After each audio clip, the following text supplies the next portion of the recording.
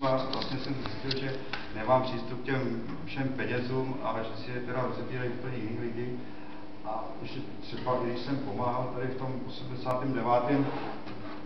i točit třeba kolem Václava Havla, že zase ty peníze si rozebírají jiní lidi, no tak jsem byl takový jako trošku jinde. No a tak jsem se rozhodl, že teda ten kryl, že, že ten takový nějaký větší dokument, nejlépe tříhodinový a že aby tam bylo opravdu všechno ze všech stran, aby byl ten nestraný a podobně. Ono to začátku jako vypadalo a všichni mi říkali, ale my nechceme. A jsem šel kamkoliv, opravdu ta televize byla jediná taková, takže eh, ty skupiny vůbec jako, ale neblbni, to nás nezajímá a ty vlastně, co tady děláš. Jo, takže to byla další věc, jakože já jsem narážel na problémy a ještě s tím Karlem to bylo dvojí. No, trvalo mi to tak, že to skončilo až nějaký nadaci, kde ty kluky jsem znal, který něco dělali pro nějakou Ostravu a v nějaký seriál zkrátka spadlo to, jak, jak eh, housky na krámě, jenom udělí teda tu hodinovku a vůbec rád, že něco uděláš. Takže já vlastně z toho filmu pro mě to je obrovský zklamání, protože jsem to nedotáhl, kam jsem to chtěl. Ale člověk má být spokojený i za to, že když něco malého udělá, tak něco udělá. Takže eh, vlastně je to jenom x lidí, kteří jak si něco vypovídají.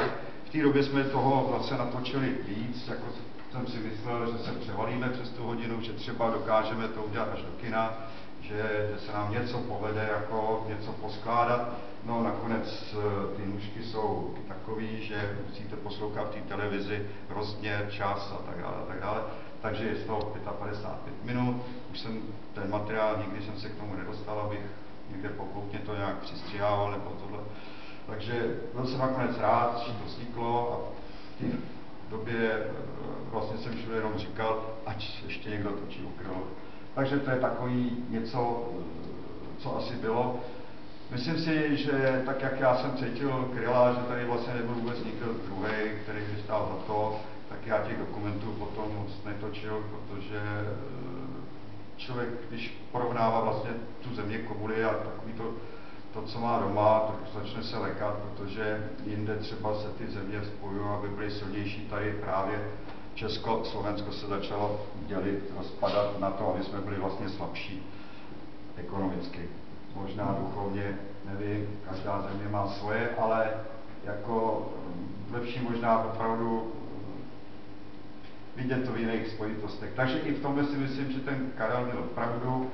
Dá se říct, že jak najednou viděl, jak někteří se dostávají k té moci a jak si to rozebírají po svým, někteří za to dostávají ty peníze, někteří zase ne, takže ty odpadávali rychleji.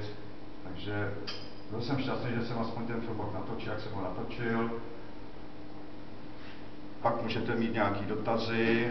My jsme nedávno měli vlastně promítání městských knihov v 25. vlastně před měsícem.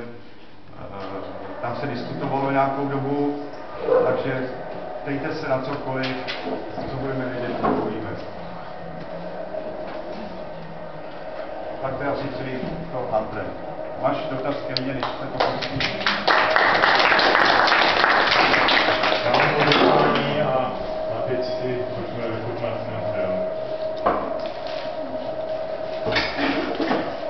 starý 20 let, jo, se to promítalo mnohokrát.